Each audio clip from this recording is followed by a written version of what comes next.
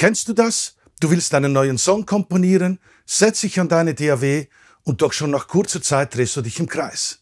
Die Inspiration fehlt. Du weißt nicht, wie du weiter vorgehen musst und überhaupt klingt immer alles gleich. Dabei willst du doch nur einen zeitlosen Track schreiben. Dass der Track nicht aus einem Guss daherkommt und einfach nur langweilig klingt, liegt meist an ein paar Kompositionsfehlern. Fünf dieser Fehler schauen wir uns in diesem Video an.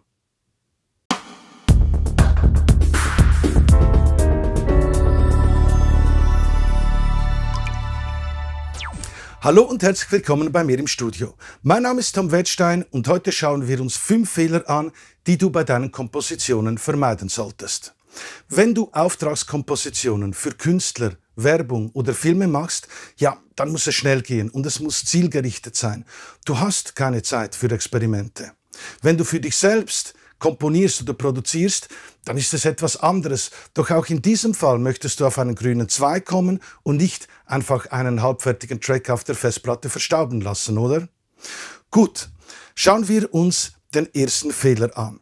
Viele beginnen zu komponieren, zu produzieren, ohne einen klaren Plan zu haben. Das heißt, lauf nicht einfach los und schaue, wohin du kommst. Visualisiere zuerst das Gesamtbild. Was ist der Ziel des Songs? Was möchtest du mit ihm erreichen? Bei den besten Tracks, die ich komponiert habe, hatte ich von Anfang an ein ganz klares Bild. Ich wusste schon zu Beginn, was das Endziel sein sollte. Vergleiche es mit einem Buch. Es gibt keinen guten Schriftsteller, der nicht schon zu Beginn genau wusste, wie die grobe Story aussieht und wie sie endet. Oder denkst du, J.R. Rowlings hat sich einfach vor ein leeres Blatt Papier gesetzt und angefangen zu schreiben? Sicher nicht. Sie hatte die Harry Potter Story schon im Vorfeld ganz klar vor Augen. Beginne zuerst das Große zu modellieren und arbeite dich danach in die Details vor. Komponiere zuerst die grobe Story und flechte nach und nach die kleinen Nebengeschichten ein, damit der Song abwechslungsreich wird. Aber das Grundgerüst, die Struktur, die muss zu diesem Zeitpunkt schon vorhanden sein. Vor allem weiche nicht von deinem Plan ab, sonst entsteht ein ungenießbarer Brei aus nicht zusammenpassenden Zutaten. Fehler Nummer zwei. Viele definieren nicht, welche Emotionen der Track ansprechen soll, welche Aussage er hat. Welches ist der Grundtenor? Und diesen Grundtenor des Tracks, den musst du bestimmen. Definiere, welche Emotionen der Verse oder der Refrain ansprechen soll. Zum Beispiel, du sagst, ich möchte einen traurigen Song mit einer positiven Energie. Dann kannst du zum Beispiel das so machen, dass du sagst, im Verse soll er Moll sein, also traurig, und im Refrain geht er auf Dur. Da kannst du auf die parallele Durtonart gehen oder einfach auch modulieren. Du kannst sagen, gut, der Refrain soll hell und breit sein und der Verse dunkel und intim. Und so kannst du die Emotionen viel besser ansprechen. Nummer drei. Viele achten nicht auf das Zusammenspiel zwischen Text und Akkorden, denn die müssen entweder ganz klar zusammenpassen oder einen harten Kontrast bilden. Ein Paradebeispiel für mich ist der Song Desafinado von Carlos Antonio Jobim, sei es in der englischen Version oder auch auf Portugiesisch. Jeder einzelne Satz, jedes einzelne Wort wird mit dem richtigen Akkord unterstützt und so entsteht ein total farbiger Song, der dich wirklich im Herz berührt. Ein Gegenbeispiel ist zum Beispiel Count the Days von Prince. Das ist ein super süßen Song mit echt harten Lyrics. Und dieser Kontrast macht diesen Song so speziell. Es kommt auch nicht von ungefähr, dass Lyrics 50% der Verwertung ausmachen bei Gehmanns Visa. Was ich jedoch traurig finde, ist einfach so ein Zweizeiler, uh, Baby, Baby, und das als Lyrics zu verkaufen. Bei solchen Tracks ist auch die Musik meist kein großer Wurf. Solche Songs werden selten Evergreens, nur wenn sie sonst etwas ganz Einzigartiges besitzen. Nummer vier: Viele definieren auch nicht, wo der Höhepunkt sein soll. Führe den Zuhörer auf den Höhepunkt hin. Gehe auf die Reise mit ihm. Baue den Song auf und leite den Zuhörer zu der Stelle, bei dem der Song seinen Höhepunkt aufweist. Ganz klassisch sind zum Beispiel Broadway-Songs. Beim Broadway-Song, da ist der Höhepunkt immer die höchste Note.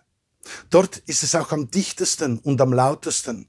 Und meist ist das bei drei, zwei Drittel der Songs so. Und bei diesen Broadway-Songs, da wird der Zuhörer wirklich mitgenommen auf eine Reise bis zum Peak des Songs und nachher flacht's wieder ab. Was du ebenfalls brauchst, damit dein Song aus der Masse heraussticht, ist eine Wiedererkennung, eine Einzigartigkeit. Zum Beispiel eine typische Rhythmik, wie ähm, bei Mission Impossible. Dann, dann, dann, dann, dann, dann, dann, dann, dann. Das, dieser Fünfviertel, der ist reserviert für Mission Impossible, den kannst du fast nicht mehr anwenden in einem anderen Track. Genauso geht es beispielsweise mit der Kadenz ähm, von James Bond, dieser wandernden Sext. Das äh, ist so ein typisches James Bond-Klischee.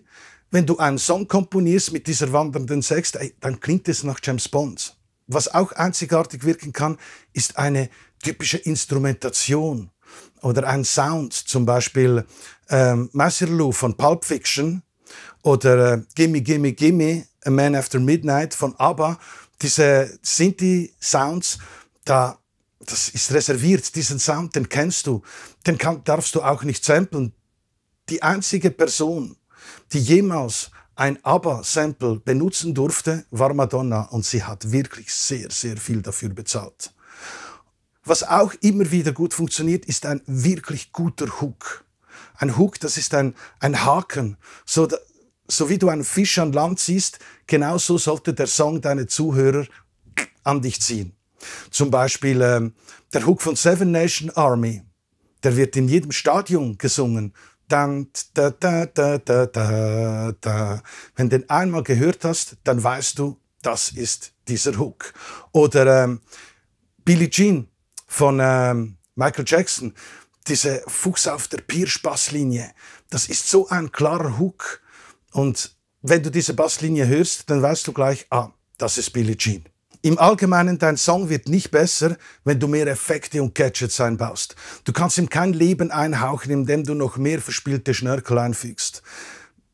Überproduziere deinen Song nicht. Klar, es gibt Songs, die sind überproduziert, die finde ich absolut geil. Aber wenn du den Song nicht einfach mit Gesang und Gitarre spielen kannst, dann wird es kein Hit. Zum Beispiel der Song Overprotected von Britney Spears ist super überproduziert. Aber dann gibt es eine Band, die heißt Ituana, die hat ein Cover gemacht und da merkst du, ah, das ist wirklich ein Song. Oder Ed Sheeran jeder Song von Ed Sheeran kannst du mit der Gitarre spielen. Und sogar gute EDM-Songs besitzen einen klaren Hook und eine eingängige Melodie, die du mit deinem Instrument ganz einfach begleiten kannst. Also, das Fazit. Du benötigst einen Plan und ein ganz klares Bild von deinem Song. Du kannst dann viel gezielter arbeiten und kommst viel schneller zum Ziel. Möchtest du noch tiefer in die Musikproduktion eintauchen und erfahren, wie du zeitlose Tracks komponierst, produzierst, mischst und masterst? Hey, dann bewirb dich für ein unverbindliches Beratungsgespräch mit mir oder mit einem meiner Coaches. Klicke einfach auf den Link unter dem Video und suche dir ein Datum und eine Uhrzeit aus. Trage deinen Namen und deine Telefonnummer ein und beantworte kurz die Fragen, damit wir uns auf unser Gespräch vorbereiten können. Ich werde dich an deinem gewünschten Termin anrufen und wir werden gemeinsam schauen, welche nächsten Schritte du gehen musst, damit du deine Produktionen aufs nächste Level bringst. Falls dir das Video gefallen hat, dann lass doch einen Daumen nach oben da und abonniere den Kanal. Ich freue mich auf unser Gespräch und lass es rufen. Bis zum nächsten Mal.